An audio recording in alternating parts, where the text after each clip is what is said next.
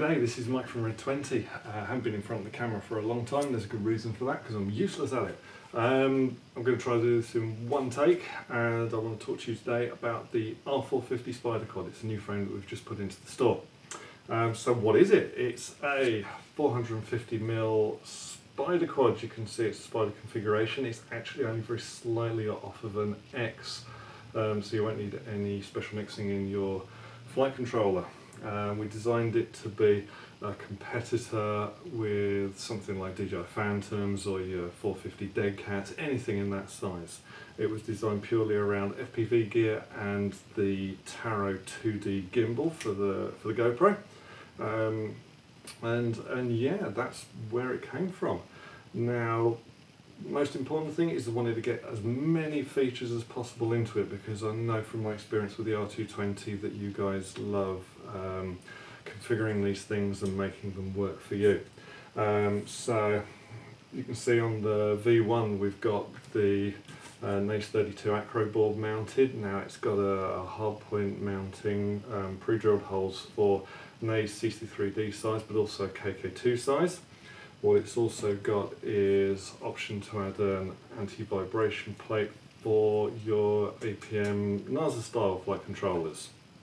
For camera mounting, we've got, uh, of course, the hard points for the GoPro gimbal, um, but we've also got M3 holes to mount your cased FPV camera either on top or below. Um, and we've also got holes available so that you can mount uh, a Mobius style vibration plate either on top or below. Um, so yeah, you can set it up exactly how you want it.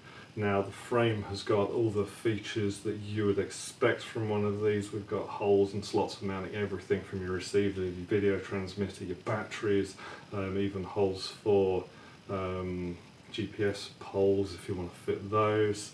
Um, the one cool feature is because it's only a very thin um, flat plate design is that wherever there's a, a, mounting hole on one plate it's mirrored on the other plate but wider so that you can actually fit screws and get screwdrivers in after the event so you don't have to think about these things while you're building it. Um, provided a standoff kit so there is a bit of a gap in between the plates if you want to try and squeeze something like a power distribution board in there although on the V1 I actually just use a, a four-way breakout cable um, and then some JST leads to, to power everything. I just kept it as simple as possible. Um, yep, uh, motor mounts are slotted M3 so it'll fit any of your standards like 28, 36 mil, or 36, 35 mil cans. Um, and, and yeah, so the configuration on this one is just something I whipped out of another 440 size quad, so it's the NTM 1100 kV motors with the 9 inch props and the 30 amp multi-star speed controllers running the modified multi-star hex Simon K. Um, that, yeah, it's okay, that's pretty good setup. Um, it will also run the 9 inch props, and I'll, I'll not the 9 inch props, sorry, the 10 inch props. And I'll show you 10 inch props do fit, um, although if you're going to be using one of these cool little antenna mounts, just be aware that the 10 inch prop will clip that, so you'll need to find a, a different method. Uh, battery wise, yeah, battery's just held in place by a strap on the bottom so you can fit whatever you want. I've been flying this one with 3600 on it, um, but you know, I've got loads of things to try. There's a 5000 there, there's a 4.5 nanotech, I've even got one of the 5.2 multi-stars that I might try out um, match that with this one, could get a long flight time. So yeah, so that's the frame. Um, how much are you going to pay for it?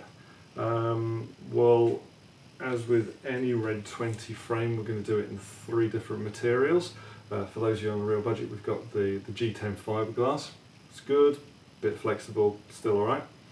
Um, that will cost you 106 US. Uh, in the 3K carbon glass, that's the G10 core with carbon fibre veneer, that's what a lot of people call carbon fibre. That'll cost you 152. Um, I've been flying this one in carbon glass for, for a while now and there's no problem, it's pretty solid. Um, and then the, the real deal, the, the Taiwan carbon fibre, uh, will set you back $212. Uh, I've talked about this stuff before. This is not your normal carbon fibre. This is bulletproof. Um, it is absolutely rigid. I've had people comment to me how rigid this stuff is compared to other um, carbon fibre frames I've had. Um, that's the matte. I've also got the um, twill gloss coming as well, so it's going to look awesome in that. Um, and yeah, and you know me, everything is cut to order uh, in the workshop, so if you want it customised, just drop me a line. If you don't want to fit the Tarot gimbal, if you want to fit something different, let me know. Uh, measure it up, we'll see what we can do. Normally if it's just a case of moving a couple of holes around, it's not going to cost you any more money.